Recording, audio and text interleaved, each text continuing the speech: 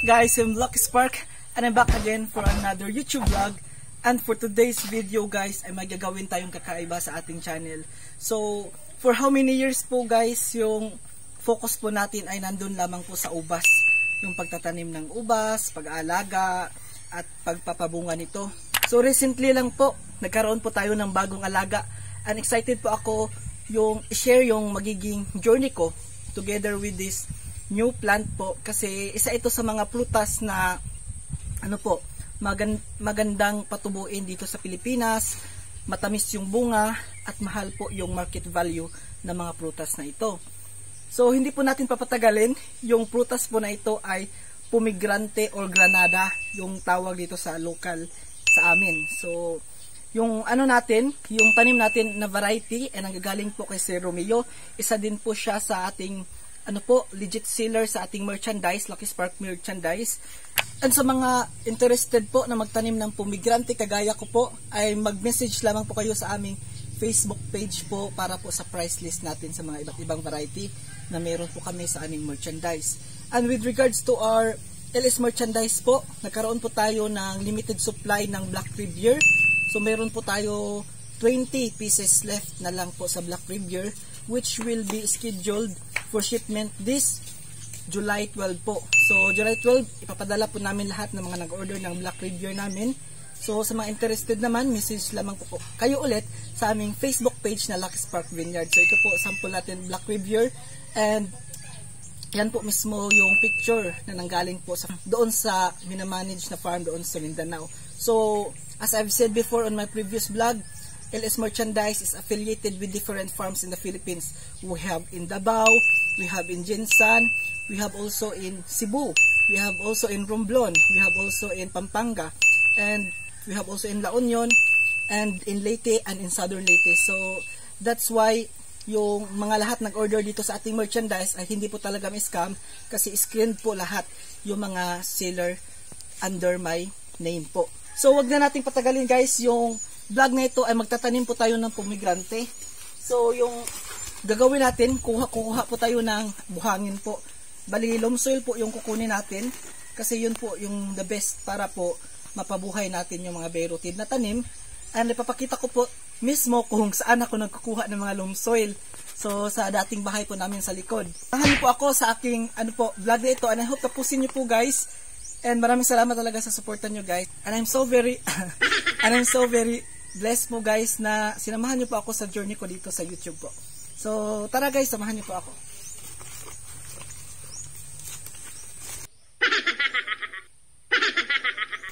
Ngayon guys, pupunta na po tayo doon para magkuha tayo ng ano, soil para sa pumigrante natin. Ay, sirado pala. So, magmotor na lang tayo, guys. So, siyempre, motor tayo. Lapit lang naman, nandun sa ano.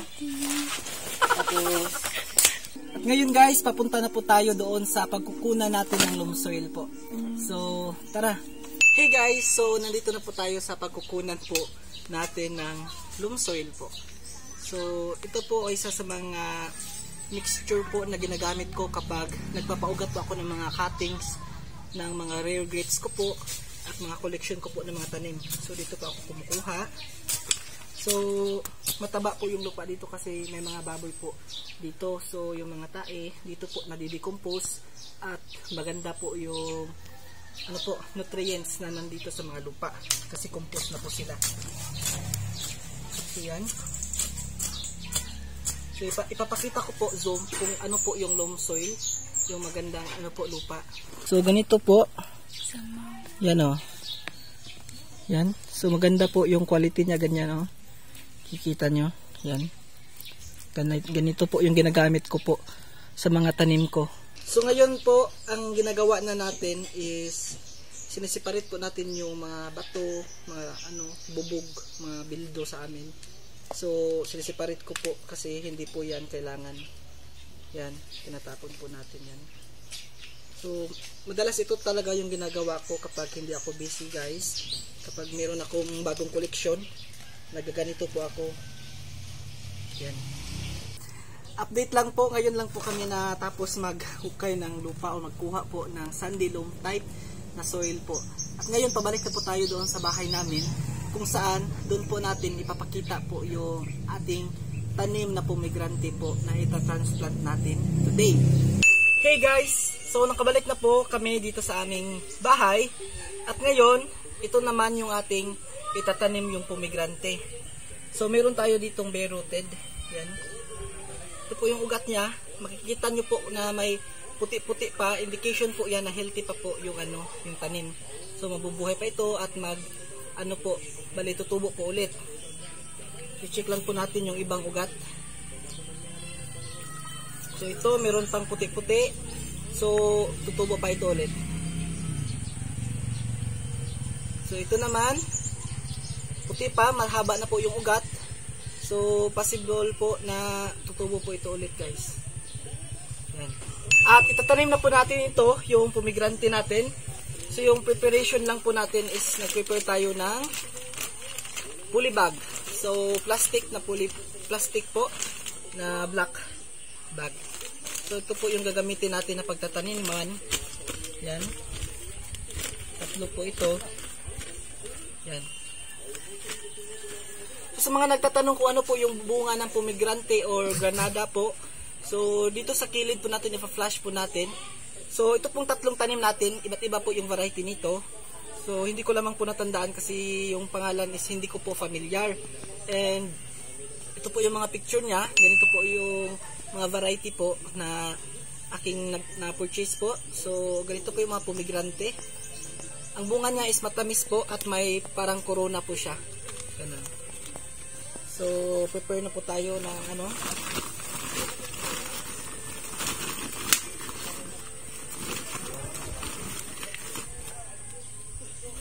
So, yan.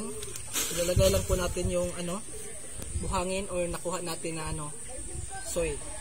So, ilalagay lang natin yung ano, yung lupa na nakuha natin. Yan. Hmm.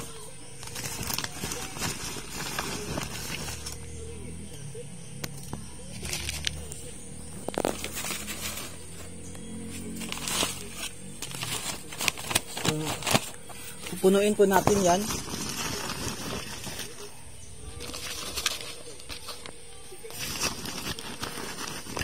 So after po nito, pag nalagay na po natin yung soil or sandilom type na buhangin, ay hukayin po natin.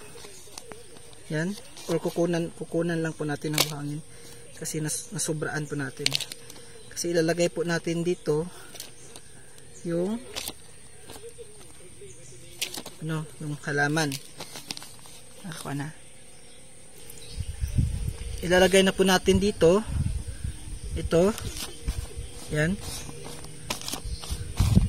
At yan.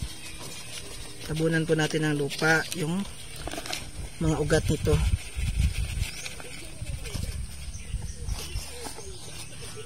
So, dadagdagan lamang po natin ng lupa. Kasi pag diligan to, ano po, magkukompress po yung soil. Yan. Tapos na po tayo sa isa. Susunod naman natin gagawin ay diligan po sila. So, didiligan po natin. Yan. So, magdidilig po tayo. Yan. So, nagko-compress na po yung soil. Pakita dyan sige. Yan, didiligan na po natin. Then sa kabila. Yan.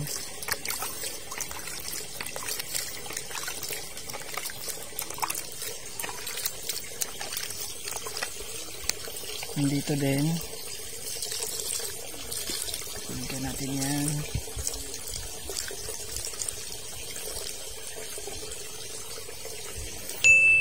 So yun lamang po guys, tapos na po ang ating video at and I hope ay nagkaroon po kayo ng interest po sa pagtatanim ng pomegrante. So I will also update to you the progress sa ating tinanim na pomegrante kasi yun po yung itatanim natin for expansion natin sa ating maliit na ubasan.